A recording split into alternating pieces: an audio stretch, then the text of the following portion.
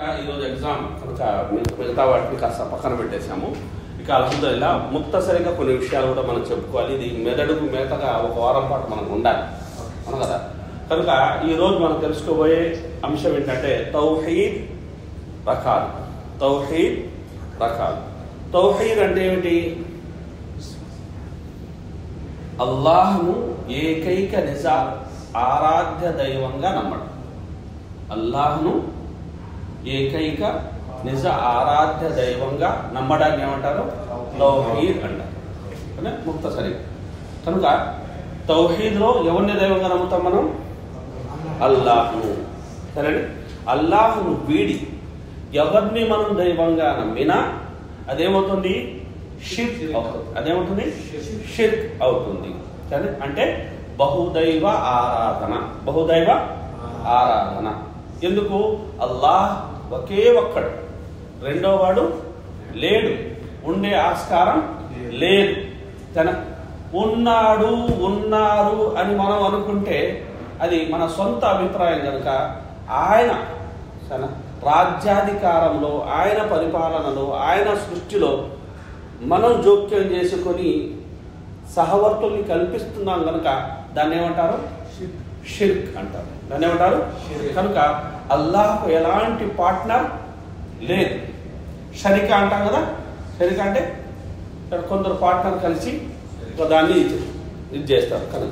కదా? కనుక షరీక్ అంటే భాగస్థు పార్ట్నర్ కనుక అల్లాహ్కు ఎలాంటి పార్ట్నర్లు లేదు. కనుక తౌహీద్ అంటే ఏమిటి? అల్లాహ్ను ఏకైక నిజదైవంగా నమ్మడం. ఏకైక నిజదైవంగా నమ్మడం. సరే?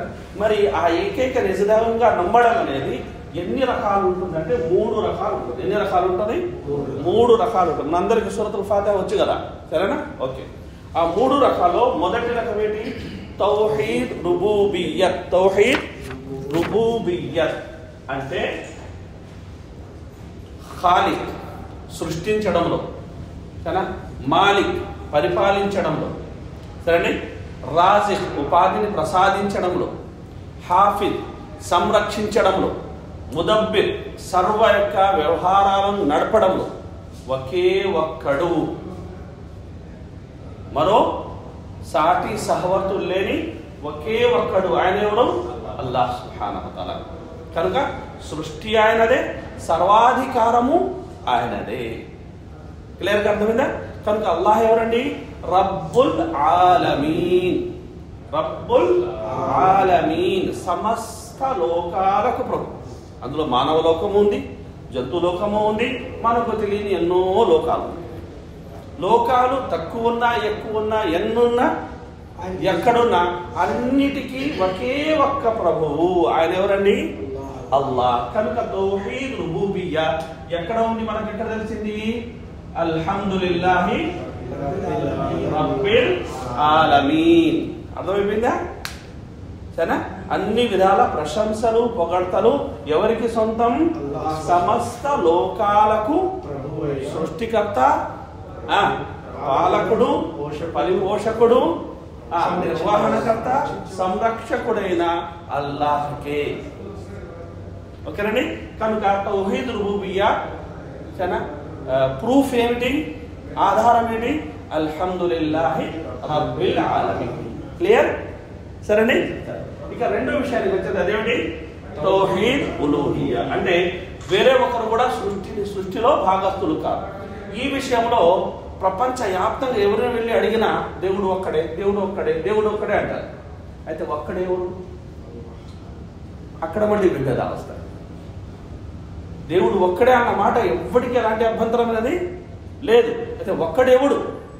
అనే చోటే అభ్యంతరం అనేది వస్తుంది. కనుక ఆ ఒక్కడెవడు అల్లా. సరేని? కనుక ఈ విషయంలో ఎక్కువ మంది విభేదించారు. ఈ విషయంలో ఎక్కువ మంది విభేదించారు.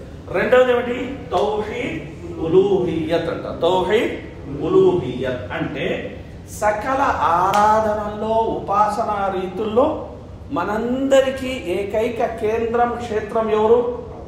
అల్లాహ్ మాత్రమే అంటే మన ఉపాసనా రీతుల్ని కానీ ఆరాధనలు కానీ మొక్కుబళ్ళని కానీ భక్తి శ్రద్ధలను కానీ ఎవరికి అంకితం చేయాలి? అల్లాహ్ ఎందుకు అంకితం చేయాలండి? ఎవరికి అంకితం చేయాలి? అల్లాహ్. ఎందుకు? దీనికి సమాధానం ఇది. ఆయనే మనల్ని పుట్టించాడు. ఆయనే మనలో ప్రాణం పోశాడు. ఆయనే మనల్ని కాపాడుతున్నాడు. ఆయనే మనకు జీవనం ప్రార్థనిస్తున్నాడు ఆయనే మనల్ని సకల వ్యవహారం చక్కబెడుతున్నాడు. కనుక ఆయన తప్ప వేరేవాడు లేడు. కనుక మనం మా సకల భక్తి శ్రద్ధలను ఎవరికి అంకితం చేస్తాము. అల్లా మరి ఇది ఎక్కడ ఉంది అల్హమ్దులిల్లాహి రబ్బిల్ ఆలమి అర్ రహీం ఆయన ఎవరు? అనంత కరుణాముడు అపార మాలికి యోమిది ప్రతిఫల దినానికి స్వామి ఇయ్యాక నాబుదు. ఎక్కడ ఉంది ఇయ్యాక నాబుదు. వ ఇయ్యాక నస్తഈన్ ఓ అల్లాహ్ మేము నిన్ను మాత్రమే ఆరాధిస్తాము. ఓ అల్లాహ్ నేను మేము నీతో మాత్రమే సహాయం కోరుతాము ఇంకా ఎవరిని ఆరాధించేది లేదు. కనుక తౌహీద్ ఉలుహియ్య ఇది. కానీ ఇక్కడ వచ్చేసరికి సృష్టికర్త ఒక్కడే అని చెప్పేవాళ్ళు కూడా అనేక మందిని కొలవడం మనం చూస్తాం. సరే కొందరు ప్రవర్తనని కొలుస్తారు కొందరు సృష్టితాలను కొలుస్తారు ఇలా రకరకాలు ఉంటాయి. కనుక ఇస్లాం ఏమంటుంది సురేఫాద ఏమంటుంది ఇయ్యాక నాబుదు నువ్వు తప్ప ఆరాధ్యుడు లేడు. సరే ఇది ఆధారం ఓకే క్లియర్ అయిపోయిందా? సరే. మూడో విషయం కూడా ఏంటి తౌహీద్ అస్మా వసిఫత్ తౌహీద్ అస్మా వసిఫత్ ఇస్మ అంటే పేరు. సిఫత్ అంటే గుణం. ఇస్మ అంటే ఏంటి? పేరు. సరే సిఫత్ అంటే గుణం. కనుక పేర్లలో గుణాలలో ఆయన సాటి లేని మేటి. ఆయన సాటి లేని మేటి. కనుక ఆయనలో కరుణ ఉందని ఆయన లాంటి కరుణ ప్రజల్లో ఉందని చెప్పడానికి లేదు. సరేనా? అల్లా కరుణామయుడే. అల్లా కృపాసాగుడు అల్లా క్షమించేవాడే అల్లా రక్షించేవాడే. అయితే ఆయన లాంటి రక్షణ ఎవరు ఇవ్వలేరు ఆయనలా ఎవరు కరుణించలేరు? ఆయనలా జీవనోపాధిని ఎవరు ఇవ్వలేరు? ఆయనలా మన వ్యవహారాలు ఎవరు చక్కబెట్టలేరు? కొంత మనలో ఉంది అది కూడా మనలో పెట్టినవాడు ఎవరు? అల్లాహ్ సుబ్హానహు. కనుక ఆయన గుణాలు నామాలు ఉన్నాయి. ఇవి ఖురాన్ హదీసులో తెలపబడ్డాయి. కనుక ప్రామాణికంగా ఆయన పేర్లు గుణాలు ఏవైతే ఉన్నాయో వాటిలో ఆయనకు ఎవరిని సాటి కల్పించకూడదు. ఎన్ని పేర్లు ఎన్ని నా గుణాలు తెలుపబడ్డాయో అన్నీ వాటిని వేరే అర్థాలు తొలగించకుండా సరేనా? వాటిని నిరాకరించకుండా సంపూర్ణంగా వాటిని మనం స్వీకరించాలి.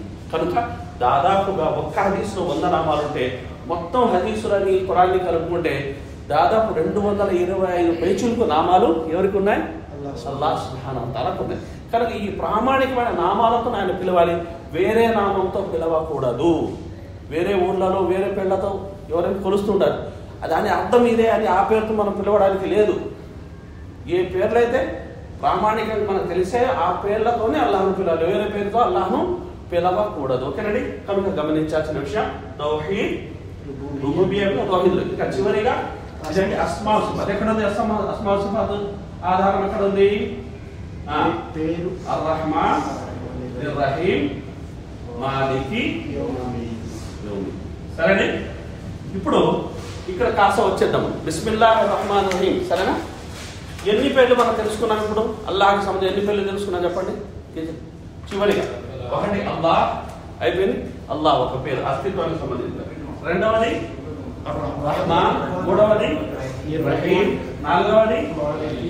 నా- నాలుగు. నాలుగు పేర్లు ఎందులో వచ్చేసాయి? ఎందులో వచ్చేసాయి? సూర్య ఫాతిహాలు వచ్చాయి ఇందులోనే రబ్. ఎన్ని ఐదు. ఒకటి రెండు మూడు నాలుగు ఐదు. సరేనా? ఇందులో ఎన్ని పేర్లు అయిపోయాయి ఐదు పేర్లు అయిపోయాయి. అయితే అదనంగా మనం చెప్పుకున్నాం. ఏమని? ఖాలిఫ్ అని రాజిఫ్ అని ముదబ్బిర్ అని సరేనా? హాఫిజ్ అని చదువు కనుక అర్థంగా కాసేపట్లో మనం పది నామాలు తెలుసుకుంది. ఎవరివి ఇలా పేర్లతో పాటు రుజువు చేయగలిగే ఆరాధన ప్రపంచంలో మరొకలేదు అది కేవలం ఎవరు? మాత్రమే. కనుక సోదరులు అల్హమ్దుల్లా ఈరోజు ముక్తసరిగా మనం తౌహీద్ మూడు రకాలు తెలుస్తున్నాం ఒకటి తౌహీద్ రుబూబియ్య.